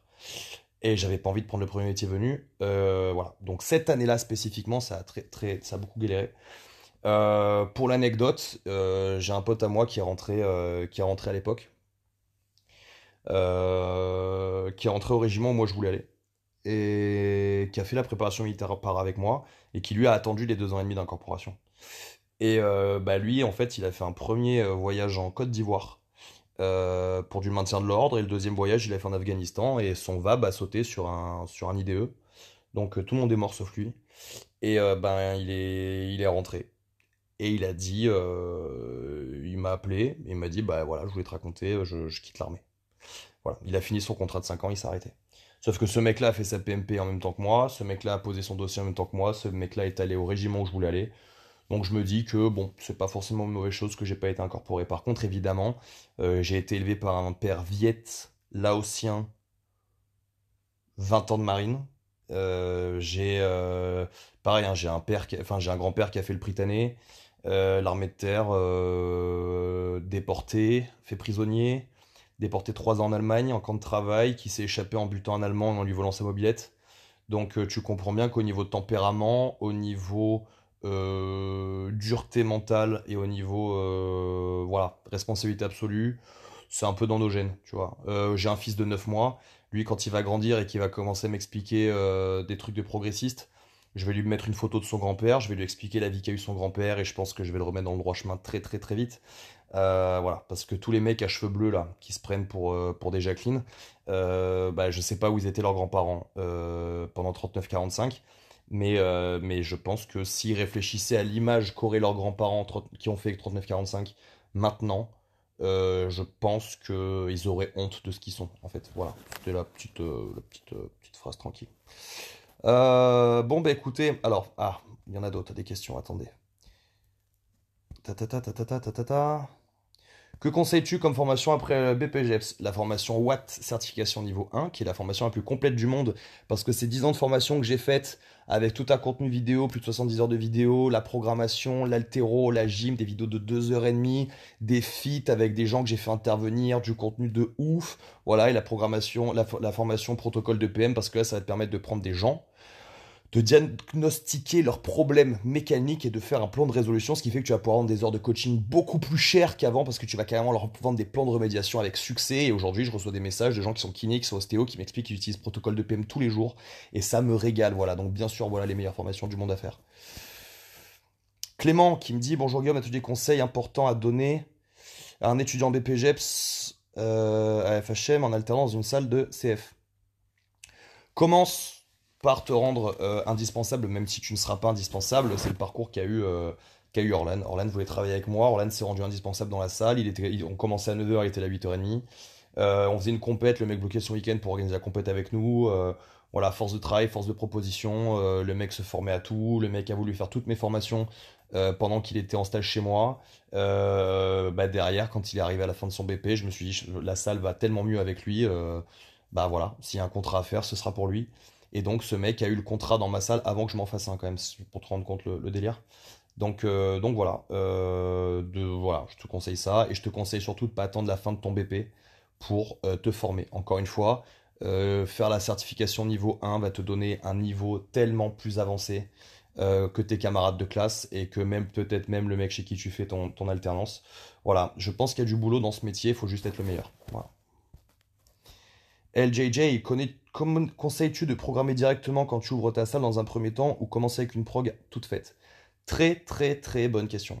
Je considère moi personnellement que la programmation est un outil de formation continue. Donc déjà moi je me suis jamais programmé tout seul, euh, à part pour des objectifs extrêmement spécifiques. Euh, je me suis jamais programmé tout seul. Euh, j'ai toutes les compétences pour le faire, mais je le fais pas. Au niveau de la diète, c'est pareil. Hein. Quand j'ai suivi une diète pendant un an pour, pour passer un cap en compétition, je ne me suis pas fait ma diète tout seul. Euh, parce que ça m'intéressait de voir comment les autres travaillaient, etc. etc. Donc quand tu démarres, même si financièrement, bah, c'est les moments les plus durs, hein, parce que quand tu es lancé, tu es lancé, euh, je te conseille de faire euh, des programmations. je te conseille de faire des prog, d'en faire une pour ta salle et d'en faire une pour toi. de les faire faire, par quelqu'un d'autre.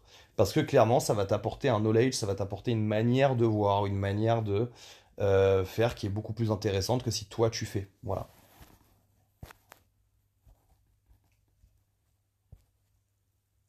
Y a-t-il des clients que tu refuses de coacher? Alors, je coach tout le monde, euh, sauf les gens euh, qui sont cons. Euh, à, ma vision du, con, hein. attention, chacun a une vision du con, de ce que la connerie, la bêtise.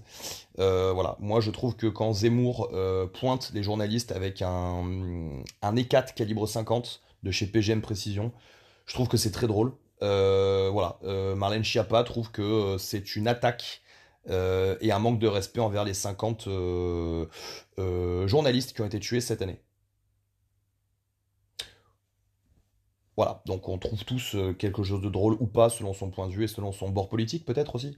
ce que je veux t'expliquer, c'est que en fait j'ai une personnalité, j'ai des réseaux sociaux développés d'une certaine manière qui font que j'ai rarement des débiles mentaux qui viennent dans ma salle. En fait, tout ce qui est progressiste, pas motivé, et qui a pas envie d'apprendre euh, et de changer ne vient pas dans mon coaching. Donc moi, j'ai rarement des gens euh, chiants. Euh, ma femme me disait encore il y a pas longtemps, putain, mais c'est incroyable. J'ai eu presque une, enfin, j'ai eu une centaine de personnes qui sont venues en coaching week depuis, depuis, depuis le début de l'année. Et elle me dit à chaque fois, c'est des gens qui sont trop bonnards. On est triste quand ils partent au bout de cinq jours parce que des gens avec qui on fait des restos, avec qui on passe des après-midi, avec qui on échange, etc., etc. On passe des moments de ouf. Et oui, mais c'est parce qu'en fait, je, suis assez connu maintenant pour que ma personnalité ait fait le tri. Vous voyez ce que je veux dire? Euh, Le mec qui supporte pas quand il dit un mot de travers ou qui a pas de second degré au niveau des vannes, le mec va déjà pas venir, en fait. Voilà, d'entrée. Euh, le mec qui a pas envie d'un coaching un peu ferme, le mec ne va pas venir. Voilà. Donc, donc, euh, il y a des gens que j'ai pas envie de coacher, mais en fait, je les rencontre pas, en fait. Bon, ben les amis, je crois qu'on a fait le tour. Hein, je regarde. Je regarde, il n'y a plus trop de questions. Protocole de PM, c'est la vie. Eh ouais, bébé. Toi-même, tu sais. Là, j'ai euh, formé des kinés à Bordeaux sur protocole de PM il y a deux ans. Rendez-vous compte, il y a deux ans. Euh, je leur ai envoyé un message parce que comme on est finançable par le FIFPL et qu'ils sont kinés, je leur ai dit qu'ils pouvaient faire la formation euh, Watt certification niveau 1 euh, payée. et ils m'ont répondu. Alors écoutez bien la blague. Il y en a une qui m'a répondu. Écoute, en vrai, c'est une bonne question parce qu'en fait, depuis que j'ai fait 2 PM, j'ai pas fait de formation de kiné parce qu'en fait j'en ai pas besoin. Euh, je suis quasiment à 100% de réussite avec mes clients en kiné, depuis, j'utilise tous les jours de PM. Donc c'est vrai que me faire chier à faire des formations en dehors, euh, ça, ça m'est pas trop venu quoi. Non mais vous imaginez le délire. Euh, bon moi j'étais j'étais comme un ouf tu vois. Mais, mais voilà, c'est un truc de fou, c'est très bien. Ah, Aurore qui nous confirme que elle a plus mal au genou. Magnifique, grâce à mon travail. Ça me fait très plaisir Aurore. Clément, tu viens le 18-19 au stage d'haltérophilie. Tu vas voir, on va passer un week-end de dingue. En plus, 4 jours après, c'est mon anniv. Je suis excité comme une puce. Euh, voilà, on va faire des grosses dingueries. Euh, voilà, ça va, être, très sympa. Ok les potos, merci à tous. J'espère que ça vous a plu. Si ça vous a plu, j'ai besoin un petit peu de faire connaître mon travail, hein, comme tout le monde. Un petit screenshot, vous le partagez en story. Euh, comme ça, les gens ils pourront aller voir le replay. Euh, voilà, euh, dites que ça vous a fait du bien, dites qu'il faut venir voir. J'ai besoin de développer cette page We Are Athletic là parce que j'ai des projets pour le futur. Et euh, évidemment, ça passe par les réseaux sociaux. Et si vous avez kiffé, voilà, c'est des lives qui sont gratuits où je donne du knowledge. Le seul petit truc que je peux vous demander, c'est de m'aider un petit peu à faire connaître cette chaîne et à faire connaître cet Instagram, d'accord? Donc voilà, un petit, un petit, un petit screenshot un petit feedback posté, euh, ça fait ça, mange pas de pain et pour moi ça fera un petit peu connaître mon taf. Si vous avez envie qu'on aborde des sujets, moi je suis hyper open, ça me ferait très plaisir. Euh, vous me les envoyez en MP, ici ou sur mon profil perso, hein, pas de problème. Euh, et puis voilà, moi je vais, faire comme ça maintenant, je vais sonder un peu les gens autour de moi, je vais leur poser les questions. Et en fonction, ben, je vous lirai leurs réponses, je vous dirai ce que j'en pense et je vous et j'apporterai ma touche perso. Pour les autres, on se retrouve donc euh, ben, en ligne, hein, si vous voulez suivre notre formation, finançable par vos fonds de formation, je répète, euh, n'importe quel métier, hein. vous êtes ouvrier pâtissier, vous pouvez faire notre formation, ça pose pas de problème. Euh, vous n'avez pas à être éducateur sportif pour être hyper intéressé par l'entraînement, donc foncez. deuxième chose, on se retrouve 18-19 décembre, stage d'haltérophilie pour ceux qui veulent, deux jours, je m'occupe de vous de A à Z, coaching personnalisé pour tout le monde, routine de renfort pour tout le monde, routine de mobilité pour tout le monde, correction individuelle pour tout le monde. Voilà, je serai là en mode karaté à distribuer du coaching, bim bam boum à tout le monde. Donc voilà, je vous attends. Bon, c'est quasi plein, mais il doit rester 2-3 places. Foncez. On se retrouve sinon euh, dans pas longtemps aussi, compète Exit Showdown euh, hier en individuel et à Nancy en team de 2. Je vous fais plein de bises et, euh, et à très bientôt. Bye bye.